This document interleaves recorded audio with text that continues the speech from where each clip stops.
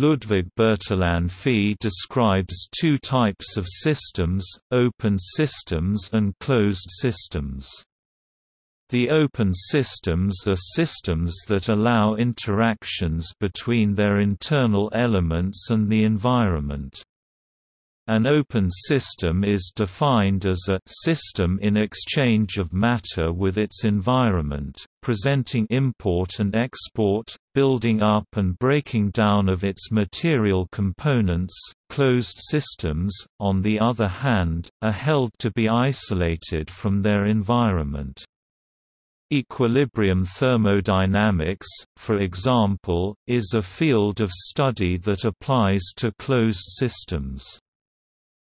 The idea of open systems was further developed in systems theory.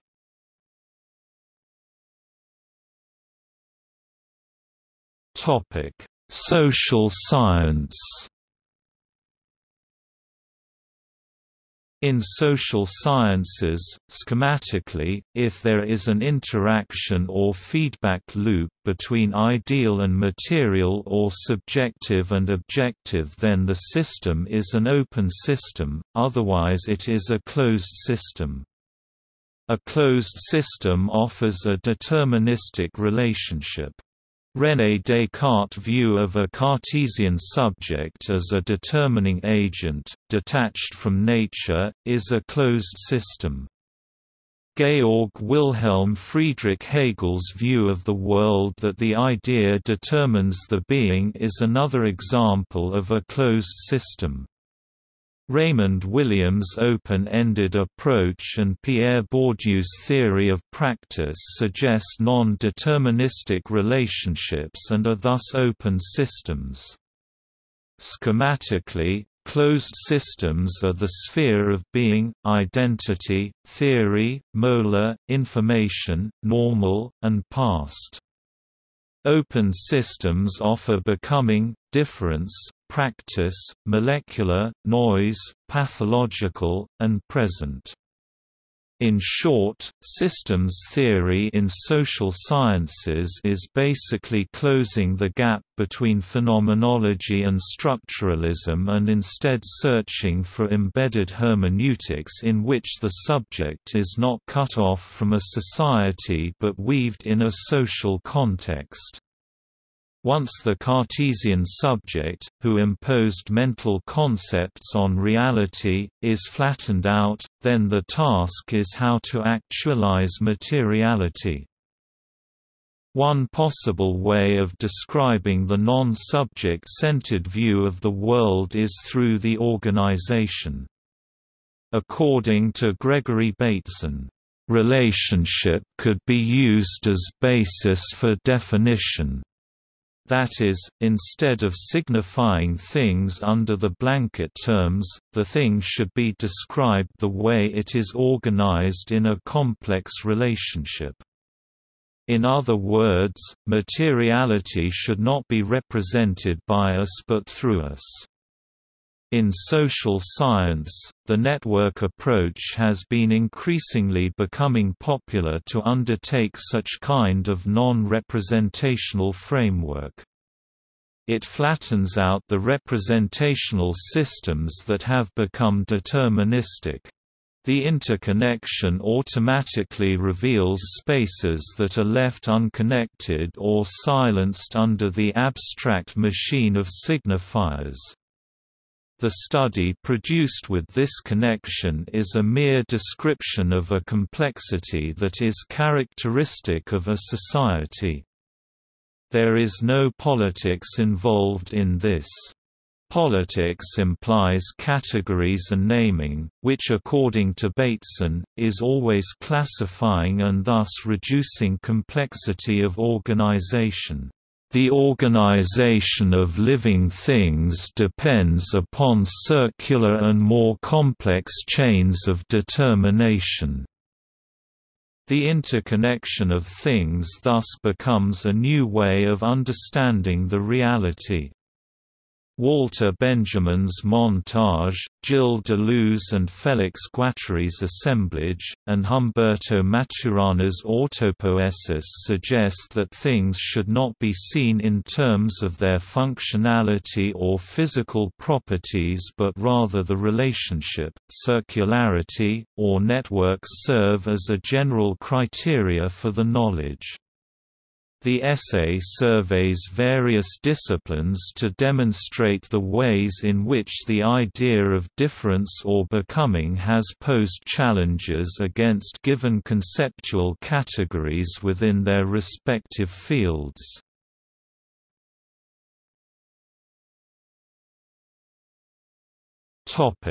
Anthropology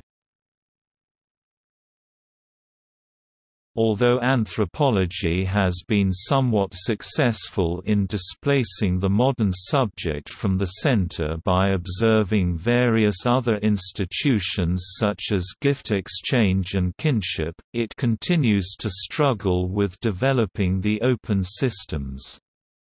In anthropology, the open system raises the question of how to represent a native point of view. The idea behind the ethnographic writing is to understand a complexity of an everyday life of the people without undermining or reducing the native account. Historically, ethnographers insert raw data, collected in the fieldwork, into the writing machine the output is usually the neat categories of ethnicity, identity, classes, kinship, genealogy, religion, culture, violence, and numerous other. The systems theory, however, challenges, among other fields, the ethnographic writing that is usually focused on representing the other. Anthropologist Gregory Bateson is the most influential and earliest founder of the system theory in social sciences. Bateson describes system as any unit containing feedback structure and therefore competent to process information. Thus an open system allows interaction between concepts and materiality or subject and the environment or abstract and real. In natural science, systems theory has been widely used approach. Bateson's work influenced major post-structuralist scholars especially Gilles Deleuze and Félix Guattari. In fact, the very word «plateau» in Deleuze and Guattari's magnum opus, A Thousand Plateaus, came from Bateson's work on Balinese culture. They wrote, Gregory Bateson uses the word plateau to designate something very special, a continuous, self-vibrating region of intensities whose development avoids any orientation toward a culmination point or external end. Bateson pioneered an interdisciplinary approach in anthropology. He coined the term ecology of mind, to demonstrate that what goes on in one's head and in one's behavior is interlocked and constitutes a network. Guattari wrote, Gregory Bateson has clearly shown that what he calls the ecology of ideas cannot be contained within the domain of the psychology of the individual, but organizes itself into systems or minds, the boundaries of which no longer coincide with the participant individuals. With the posthumanist turn, however, the art of ethnographic writing has suffered serious challenges. Anthropologists are now thinking of experimenting with a new style of writing, for instance, writing with natives or multiple authorship. It also undermines the discipline of identity politics and postcolonialism. Post-colonial scholars' claims of subaltern identity or indigeneity and their demand of liberal rights from a state is actually falling back into the same signifying Western myth of Oedipal complex of ego and the id instead of looking for a non-unitary subject in multiplicities organized into assemblage and montage, post-colonial studies limit flows into the same Western category of identity thus undermining the networks that sustain people's everyday lives. Deleuze and Guattari's rhizomatic and Benjamin's montage dismantle the top-down and hierarchical social reality and bring into attention the micropolitics of mapping multiplicities of networks and assemblages.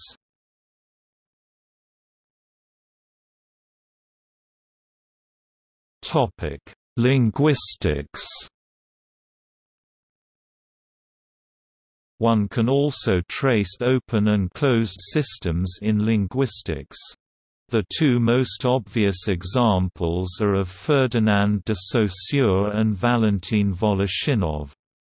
Saussure, in seeking to discover universal laws of language, formulated a general science of linguistics by bifurcating language into langue, abstract system of language, and parole, utterance or speech. The phonemes, fundamental unit of sound, are the basic structure of a language. The linguistic community gives a social dimension to a language. Moreover, linguistic signs are arbitrary and change only comes with time and not by individual will. The distinction of language between langue and parole without any feedback loop demonstrates that a language is a closed system. Volosinov rejects abstract objectivism perpetuated by the language distinction between Langue and Parole.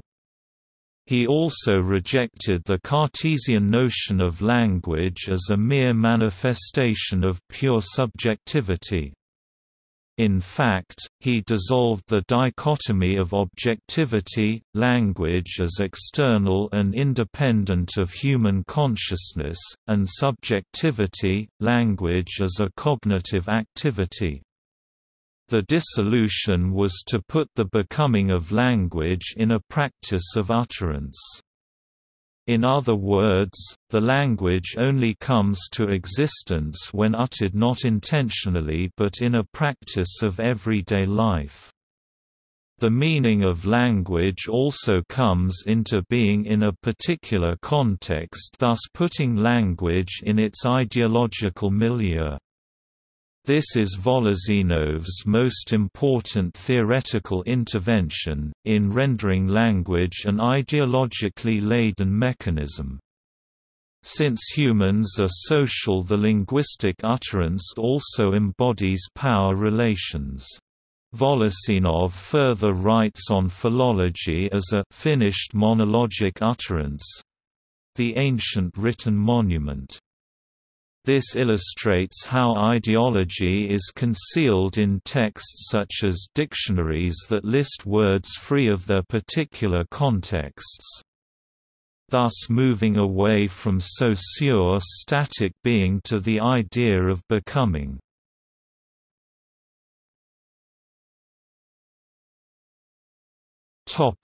History In the discipline of history, there have also been critical debates of how to represent past in its complexity without undermining the differences. That is what are the ways in which history writing could be written as an open system.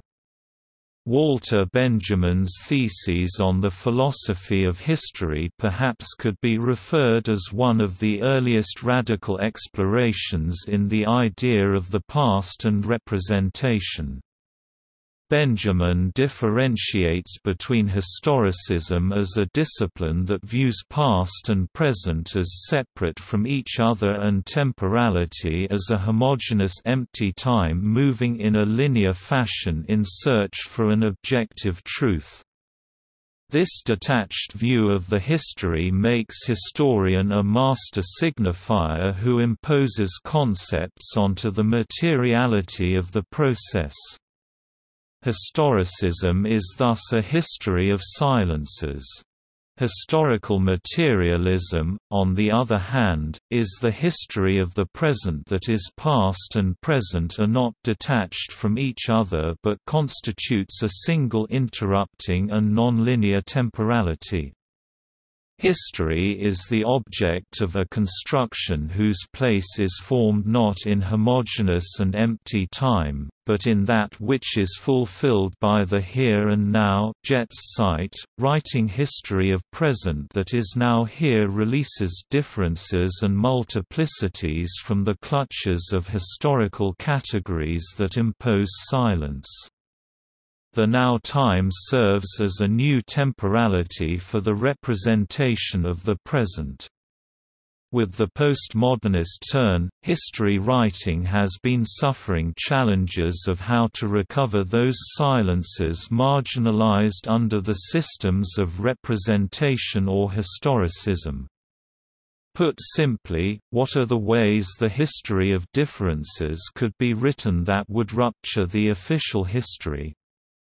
German historian, Reinhard Koselleck, based his argument on social and conceptual history. The social history belongs to a history of the present whereas conceptual history is the history of ideas or representations. Subaltern studies historian, Dipesh Chakrabarty name the conceptual and social history as History 1 and History 2. Anthropologist, Michel Rolph Trouillot, referred them as Historicity 1 and Historicity 2 and urges for a history of the present. Hayden White's idea of emplotment as narrative form demonstrates a new radical move towards history writing that collapses the traditional historical tropes.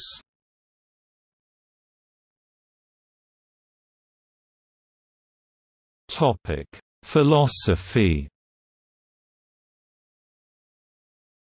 The debate in philosophy is grounded in terms such as abstract and real. To put simply, the question in philosophy could be written as how to get to reality without deploying the given abstract concepts. In contemporary philosophy, Deleuze's philosophy of becoming is currently a popular version. According to Deleuze and Guattari, Becoming is a verb with a consistency all its own, it does not reduce to, or lead back to. Appearing, quote, quote, being, quote, quote, equalizing, or. Producing, quote, quote, the becoming disrupts the imagination of the Western thought, organized in an arboreal, into a rhizomatic nature of haecceity. A rhizome may be broken, shattered at a given spot, but it will start up again on one its old lines or new lines. In The Normal and the Pathological, Georges Canguilhem demonstrates the ways in which the concept of norm emerged as a reference point for organizing, or more precisely, normalizing differences into a normal order necessary for a general functioning of a liberal society. A norm offers itself as a possible mode of unifying diversity, resolving a difference, settling a disagreement. The norm thus became the abstract universal signifier and the normal as a signified and what escapes the normal is considered pathological. In fact, the existence of pathological becomes the necessary condition for the normal. By interconnecting the idea of norm with institutions of technology, economic, and juridical, Canguilhem grounds the concept of norm into the materiality of social and shows that normal is not a natural given but rather it is the product of normation. Drawing on Canguilhem's work, Foucault develops the notion of biopolitics as an open system that is a process free of deterministic relationship. Biopolitics can be described as when the basic biological features of the human species became the object of a political strategy of a general strategy of power.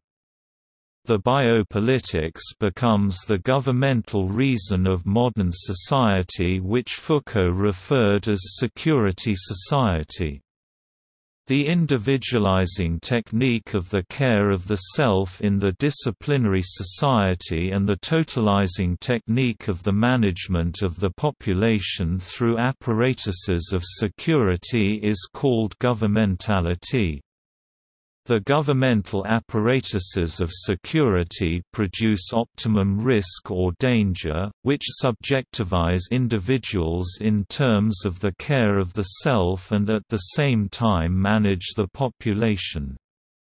Insurance technologies, as an apparatus of security for instance, use a calculus of probabilities that transform everything into risk, but most importantly, it keep a type of criminality, theft for instance, within socially and economically acceptable limits and around an average that will be considered as optimal for a given social functioning. Thus, there are two streams of thought in Foucault's work. The earlier work relates to disciplining or individualizing of the body through the police state. The later thought develops around the notion of biopolitics, as a totalizing technique, that targets the biological given of the population through the apparatus of security. These two techniques, individualizing totalizing, microphysics macrophysics, care of the self-management of the population, are the two modalities of power that function in a non-deterministic relationship.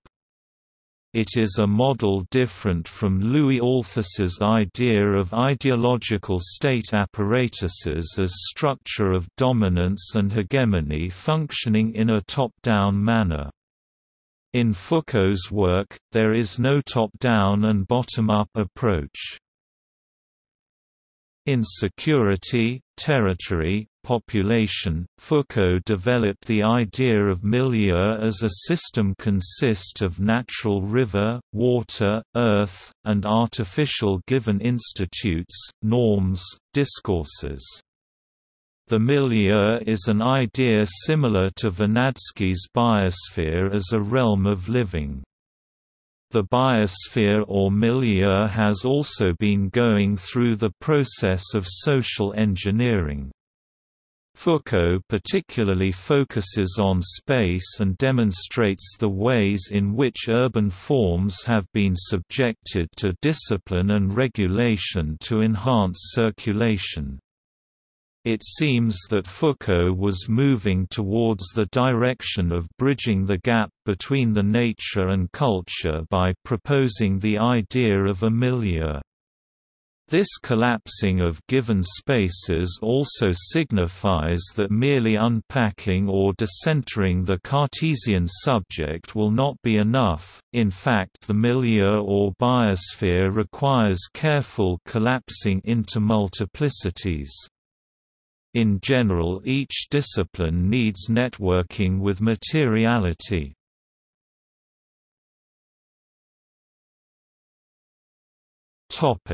Sociology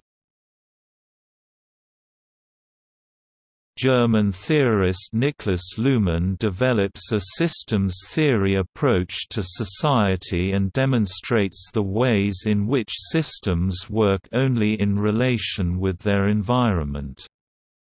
Drawing on Humberto Maturana and Francis Varela's idea of autopoiesis and Hegelian dialectics, Luhmann argues that systems are self-referential autopoietic systems, that is they produce and reproduce their organization without getting input from a Cartesian subject and systems maintain their distinction from the environment by the unity of the difference. By doing that, he displaces the modern subject as a point of reference and instead places communication as the index.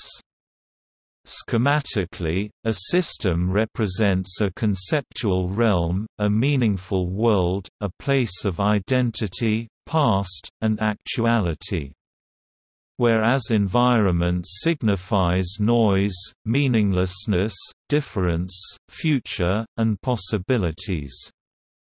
Luhmann's social systems are closed systems except when the system needs information from the environment. Thus, it is up to the system to select the meaninglessness or noise from the environment and encode it into a meaningful complex in the system. Although Luhmann maintains the unity of the difference of the system and environment, the closing of the system does not allow innovation or rupture in the order. In fact, the encoding of information in the system reduces complexity of the environment. French sociologist Pierre Bourdieu challenges the same duality of phenomenology subjective and structuralism objective through his theory of practice.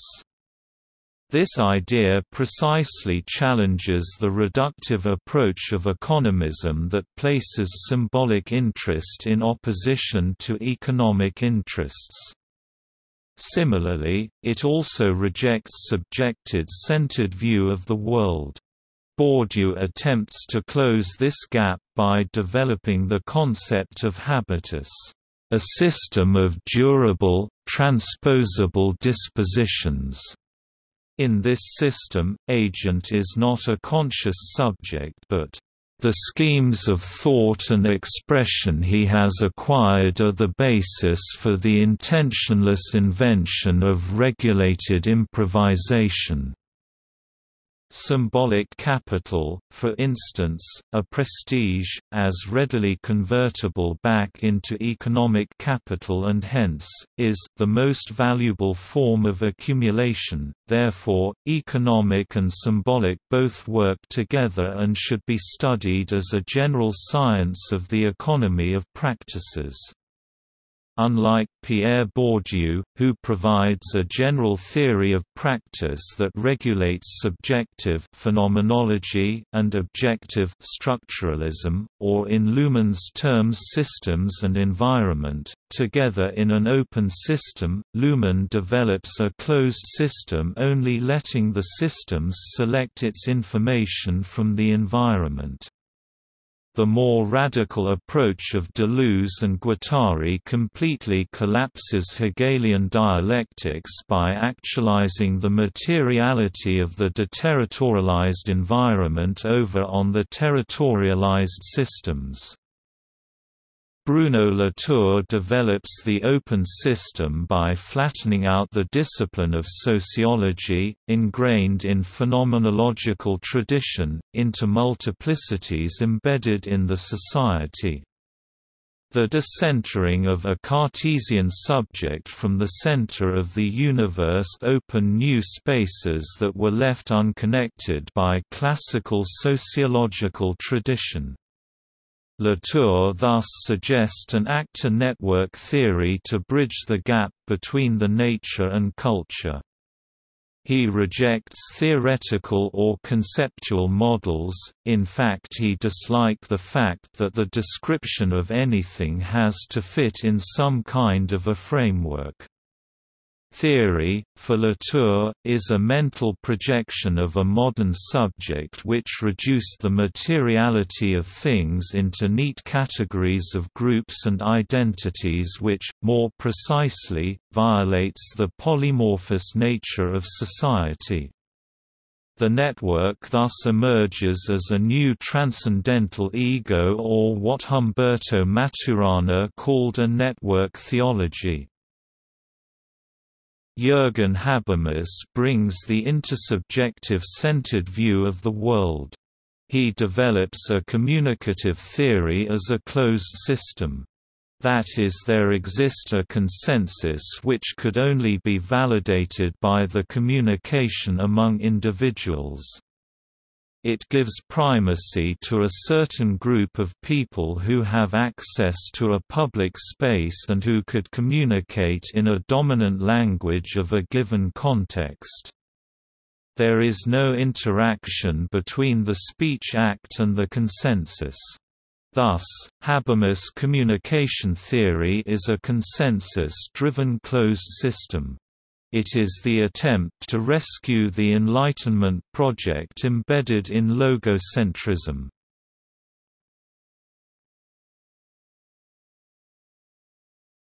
Topic See also